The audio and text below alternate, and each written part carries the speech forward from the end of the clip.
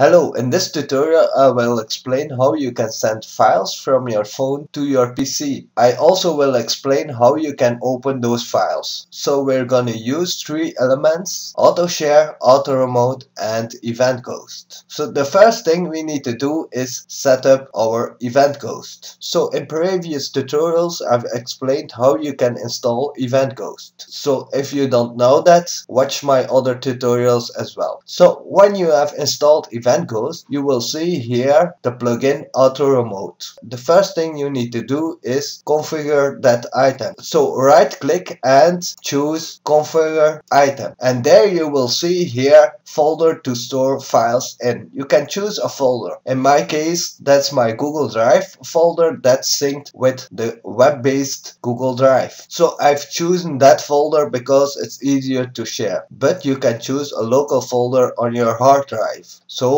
fill in here the path or browse the folder. That's the only thing you need to do inside the auto remote plugin. Let's click on OK and now it's time to go to our phone. I also will open my Explorer. So here in the Explorer it's the folder where my files will be sent on my computer. It's on the C drive and we use Google Drive for example. But you can choose whatever you like as folder. So the first thing we need to do is tested. So let's open Auto Remote right now. And here I'm inside Auto Remote and you will see the registered device. Let me open Event Ghost. And when you open that option, you will see here files. Click on that and then you can browse for a file. So let's do that. For example, let's open an image. For example, this one okay and then click on send message let's do that and you will see here the image is received. So the communication works. So that's how you can send files from your phone to your PC but we need to make that more user friendly so we're gonna use AutoShare for that. So let me open AutoShare. And here I'm inside AutoShare. You will see here manage commands. Let's open that.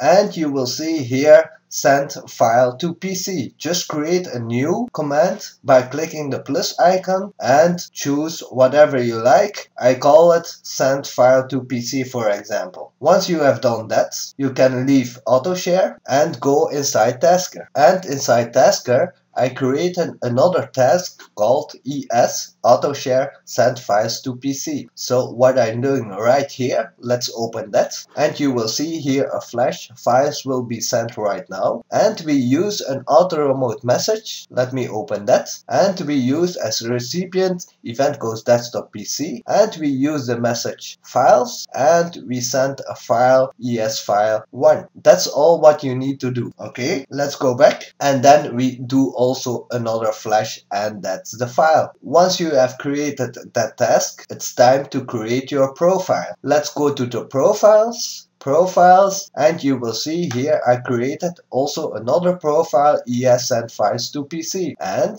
let me open that. That's only an auto share command and the auto share command is send file to PC when you choose auto share inside states plugins and then auto share you can configure that command by clicking on the pencil button and you will see here event behavior is on and the command filter will be send file to PC. That's all you need to do. And then the task related to this profile is the task we created before. ES send files to PC. So as you see, that's quite easy. So let's see that in action right now. Let me open my gallery for example. And I've here a picture of me of skydiving. Let me share that. Click on the button here and you can choose your commands. So for this one, we're gonna send file to PC. We check that and we see here in the background on my computer the files is sent. So it's quite easy to do that. I hope you understand that. So the next thing we're gonna do is open a file directly on our computer. So let's make that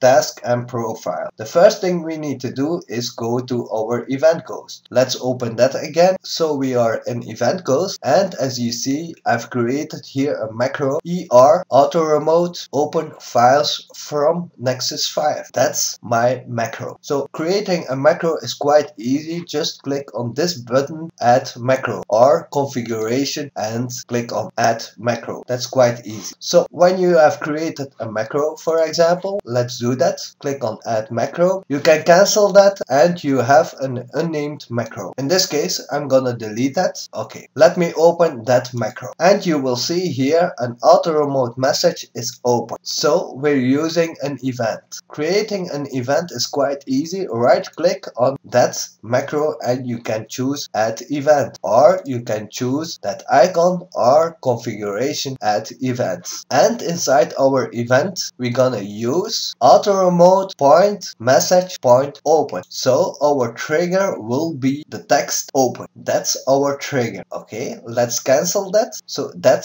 is our message. And then we're going to use a Python command. Creating a Python command is quite easy. Right click and click on add action and choose Python command. Inside that Python command you have to put this from os import start file point comma start file open bracket eg point event point payload point files and then zero between vertical brackets and close with a bracket of course. That's what you need to type inside that box. So let's click on OK. So for those who couldn't read that text, I will show that again. That's the text here. You need to type inside that box. Okay, let's close that. And our event ghost is now ready. So we need to create our auto remote message. So let's go back to our phone and back to our tasker. And here I created a task ES open on PC. So let me open that.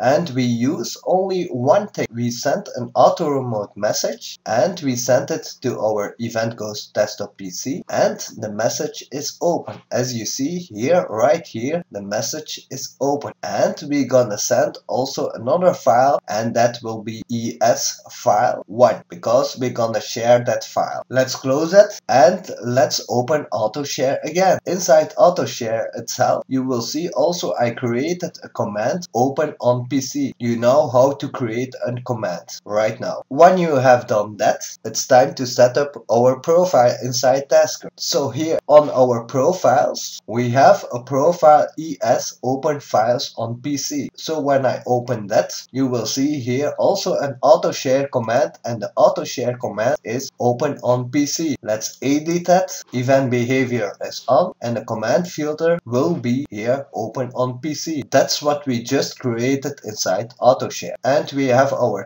task related to this profile. So right now it's finished. So let's test this. So here I'm back inside my gallery and let's open that on my PC. Click on that button and then choose open on PC. And as you see that picture is shown on my PC. It's quite easy. You can do that with different formats. For example, let me open my file manager on my phone and here inside my alarms folder I have two sounds. For example, best wake up and milk ink lavage and let me click on best to wake up for example. And I can use the auto share command again. And we use for example open on PC so let me click on that.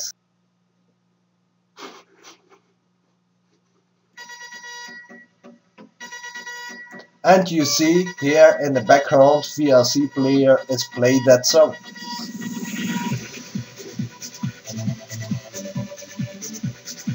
So as you see, it works with images, it works with other files, PDF files, uh, works uh, with music, etc, etc. So I hope you like this video. It wasn't that difficult, but it can very useful. If you like this video, give it a thumbs up on my YouTube channel. And if you have any questions or comments, you can leave that on my Google Plus community or YouTube channel, of course. And see you later in the next tutorial. Bye.